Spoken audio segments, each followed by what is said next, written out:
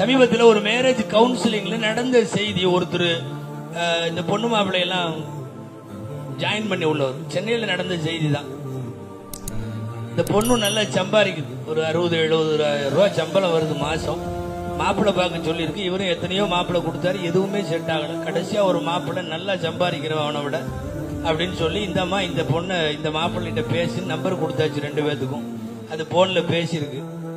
நான் ஜும்மால கூட அந்த வா- அது நடந்த அந்த வாரத்திலே சொன்னேன். அப்போ பேசியிருக்கு. பேசிட்டு ரொம்ப ஹை ப்ரொஃபைல்ல உள்ள மாப்பிள்ள அவர். பல லட்சம் சம்பளம் வாங்குறாரு.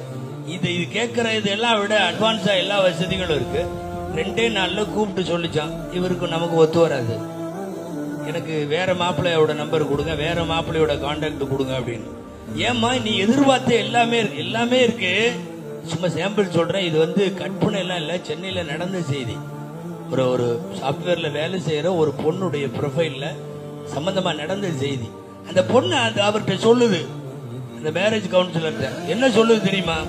நான் அந்த ஆள்கிட்ட பேசினேன். நீங்க கொடுத்த நம்பர்ல மாப்பிள்ளைன்னு அவன்கிட்ட பேசின உரையாடல் எல்லாம் சொல்லுது. விஷயம் என்னன்னா பேசிக்கிட்டே இருக்கிறப்ப கேட்டிருக்குது. உங்க வீட்டுல குக்கு இருக்குதான்னு கேட்டிருக்கு சமையல்காரங்க இருக்காங்களான்னு. ஆ சமையல்காரங்களாம் இருக்காங்க. எந்த பிரச்சனை இல்ல. நீ சமைக்க வேண்டியதே இருக்காது. சமையல்காரங்களாம் இருக்காங்க. அவன் என்னைக்காவது லீவு போட்டா நீ சமைக்கிற மாதிரி இருக்கும்னு அவன் வாய் திறந்து என்னமோ உளறிட்டான். இவ அதோட கட் பண்ணிட்டு இந்த புரோக்கர்கிட்ட சொல்றா. என்ன சொல்றா தெரியுமா?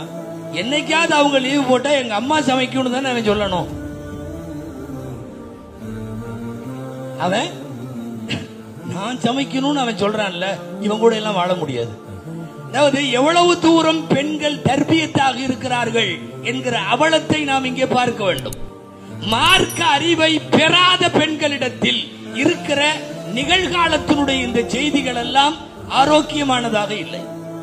மிகவும் மோசமாக இருக்கிறது.